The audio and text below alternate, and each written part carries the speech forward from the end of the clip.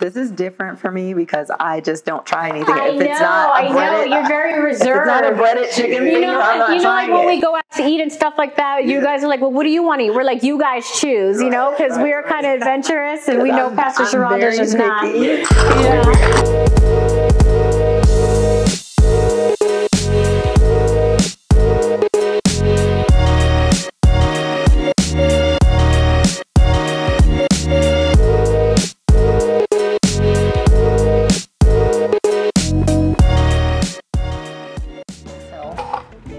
Once you put your uh, tomatoes, your olive tapenade, put all that together, you want about a tablespoon and a half of parsley, a tablespoon and a half of mint. You're gonna take your pepper, about a tablespoon, and a or a teaspoon rather, and a teaspoon of salt in a separate bowl. You may whisk babe. Lemon, olive oil. This is about six tablespoons of olive oil. That's about two tablespoons of lemon. You want to mix this together. Pour that over the top. And mix this up. Make sure it's very well mixed. This is another dish that the more it sits, the better it gets. I was just going to ask you guys what, um, now that you're kind of like on this new journey, health and fitness and that type of thing, what has been the hardest habit or craving to kick in terms of food for you guys? Like, has there been one thing that you guys have really struggled with, you know, giving up or kicking, that type of thing? Maybe there's more than one. You know, for me, I think it's uh, it's my favorite food, which is ice cream. that because uh, I grew up um, in a, you know, again, it boils down like your family. You know, I grew up in a family where we always had ice cream, um, and I just love ice cream. Even my kids at school, when I would teach, they knew Mr. Mays loved ice cream in all different flavors, mainly Blue Bell ice cream, the best ice cream in the country, by the way. Scratch that. They're not paying us. yeah, right. Blue Bell is not paying us. we're, gonna, we're gonna bleep that out. Um, and I'm adding a quarter cup of, again, goat cheese. So ice cream is a big one for me. For me, it's just sweets. I love candy. I love soda. I love McDonald's French fries. I love sweet tea. Anything sweet and salty, I love it. So uh, it's just sweets in general. Gotcha. How about for you, babe?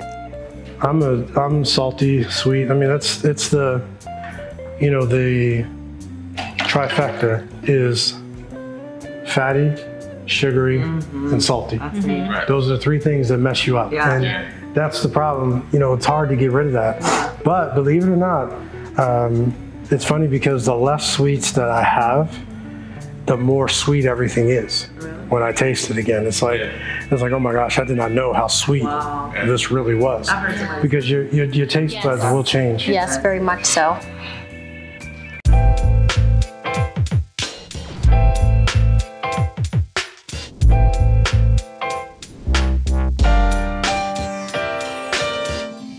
Hi, this is Dr. Gene Herndon of Leadership Uncensored, and I want to take a moment to share with you about a weekly cast that we're going to do called M4 or Monday Morning Master's Mind.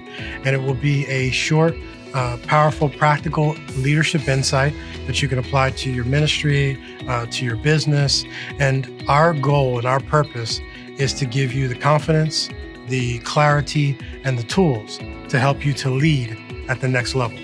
And so, what we have done is if you are interested in that podcast, please sign up on our website. If you go to geneherndon.com, put your information in there. Every Monday morning, uh, you will receive an email that will have the link to that particular uh, broadcast. And I guarantee it'll be a blessing to you, and I guarantee it'll bring value uh, to your ministry and to your business. We understand the challenges that people face when you're a Christian business or in a Christian ministry. And so we want to make sure that we're providing the best help that we can uh, to be a blessing to you. Until we see you, God bless you, and we'll see you on the other side. So you just want to make sure with this that it's all evenly mixed. What was that last ingredient you put? The white? That was, is that cheese? That was goat cheese. Yep. Oh, same thing. Now that looks really healthy. You know, it's funny. It is. Um, I think as ministers, we struggle sometimes um, because we have to eat healthy and we have to take care of our bodies. This race that we're in, Yeah. um, you know, God's got to, he's, he's got to have something to work with. And so, um, So is this served cold? yes. Okay. Yep, can be cold, room temperature. It's very good. Like it. I love that that dressing. What do you think? Yeah. It's good. Oh yeah. And like as it sits, it gets better and better. Um, but Very good. When we were prepping for the show, I was doing some research and I was thinking about like our situation and the fact that initially when we started down this road of um, meal prepping, I was kind of apprehensive because I felt like we already struggled for time to do things besides the things we were already doing. And I was thinking like, how are we going to meal prep and do all of these things? Like we just don't have the time. And I think that's one of the biggest things that people face is just not having time being busy. You, you know, you're a business owner, you're a pastor, whatever it is, you're a full-time mom, like you're busy, you have a lot going on. So how do I fit this into my schedule? Um, and so when I was doing some research, I was reading and I was shocked at like some of the statistics that um, was dealing with like senior leaders and ministers and pastors, people in ministry. Um, and I just jotted down a couple. And one of the things is 44% of pastors do not take a regular day off. Um, 90% feel fatigue and worn out every week. 75% of pastors report being extremely stressed or highly stressed. And um, it was like over 50% of pastors that worked between 50 to 75 hours a week. Um, and it was just sharing other things about them not having time to, you know, do personal development and devotional, where the only time they're in the Bible is when they're preparing for a sermon. Um, that they don't really have anyone that they can reach out to from like a mentor or a spiritual parent standpoint. Um, Um, you know, they went to Bible college and they feel like nothing that they learned in Bible college prepared them for actually being in ministry. So all of Wasn't there- these wasn't there things. something that said like 80% of them said if they could do something else, they would. They would, oh, yeah, that they would. So they felt like if they if they felt like if they could do something else, they'd go do that they would. They would leave ministry and go do Yeah. something else. It was over 50% that felt like uh, ministry negatively impacted their family, from their wife to their kids, because they're working so hard. They're under so much pressure. They can't give the best to their family when they have nothing left. So, as we were kind of talking about that, you know, we were sharing that we know um, of a lot of ministers that, you know, you just don't have the time. You're under a lot of pressure, but it's like what you don't do because you don't think you have time is actually what you need to do to save Right. your life. Right. Exactly. Do you understand what I'm saying? And really looking at that big picture. And for us, it was one of those things where that was the motivation to, like, we may not have the time, but we're going to find time. This is a priority. So if we need to cut something else, we're going to cut something else so that we can focus on this this. is this is not a sprint. It's Right. a marathon. Oh yeah. and you gotta have you gotta have what's needed um, to finish your course. Uh, do you remember where Paul was talking about Epaphroditus, and he said, um, he said he's he's on he's sick unto death, and he goes on to explain the reason why he's sick unto death is because he's trying to pick up the slack of what y'all were supposed Yeah. to do. And and when we're in ministry, what other people are supposed to do, ministry helps support. Uh, that was one of the reasons why, because we started a ministerial association uh, called Word and Spirit International, and it's designed to help ministers who um, either want to get into ministry or maybe already in ministry, but want to have help, tools, resources, but not the ethereal stuff, but the real practical stuff of how to go further, faster, if you will, because it's not easy. And to not have the ability to have people that are pouring into you that really want to help you, because there's a lot of ministerial associations, all they care about is you being a part of them Yeah. Right. but they're really not bringing much to the table Right. to keep you help you know healthy and help and help you do the things that's on your life and you know it's it's really interesting but we have such a heart for that because ministry's tough Yeah. Yeah. and I wouldn't trade it for the world but it's not easy No. and it's not for everybody you had mentioned to me, you were saying, you know, sometimes I think us as ministers, like we're doing God's work, and we think that you know He'll sustain He'll sustain us, Right. and that you know we could just do it by faith, and we can eat however we want to eat, however late at night, all the time, and you know I'm doing God's work, so He's going to take care of me. But it doesn't necessarily work like that. Yes, He's going to take care of us, but we have to do our part in the natural, and so our physical bodies, um, we have to take care of.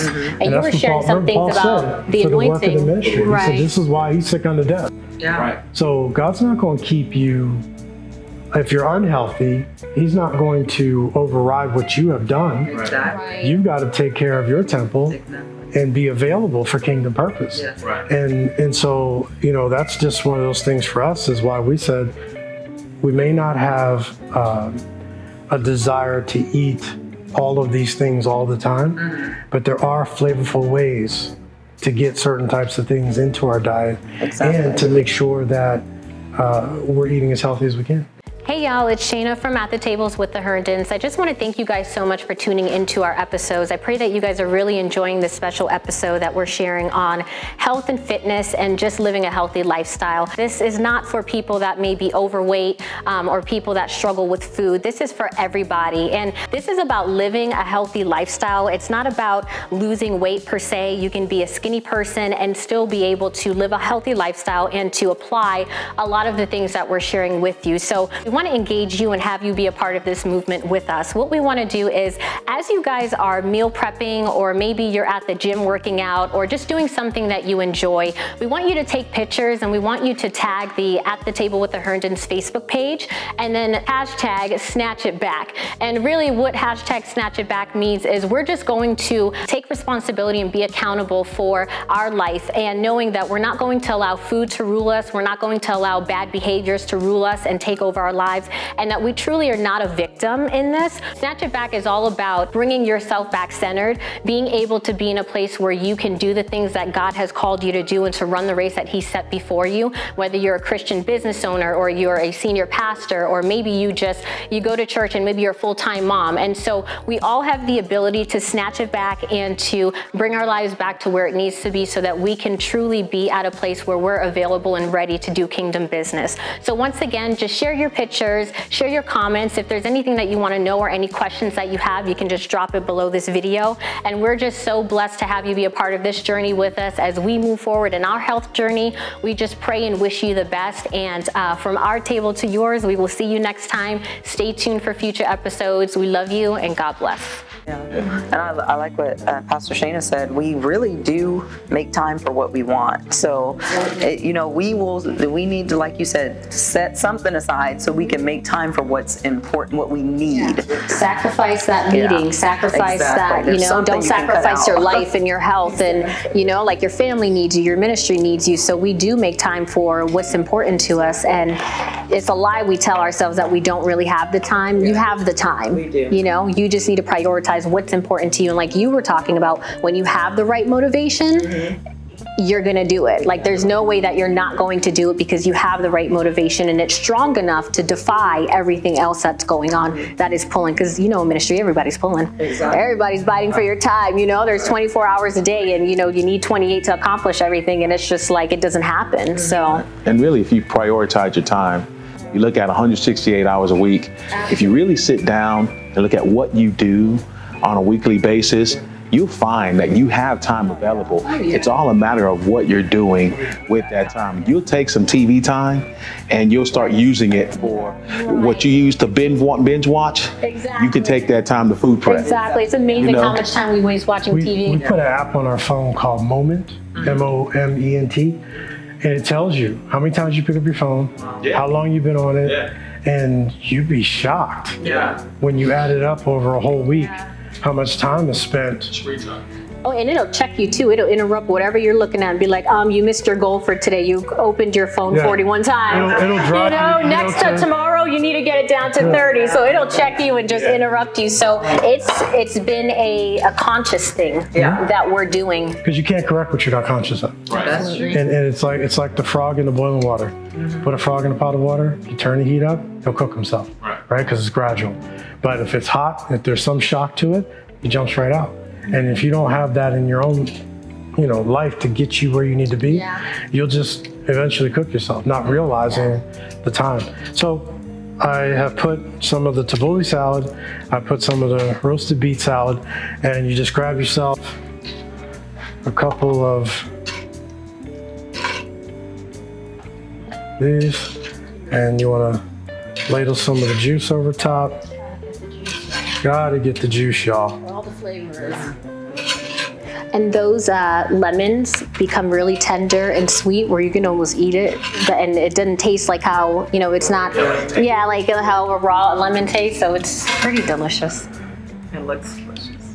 And there you have it. So you've got your lemon um, herb chicken with your roasted beet salad and your tabbouleh salad and meal prep. Boom. Is- First meal done. Done. Stick that puppy in the fridge, Stick it in and the by fridge. tomorrow it'll be even better than it is Uh, right now. You can eat this hot, the tabbouleh part if you want. Um, we kind of prefer cold. So we'll take that out, put it in the microwave, and then put it back in, and you got yourself a full complete meal.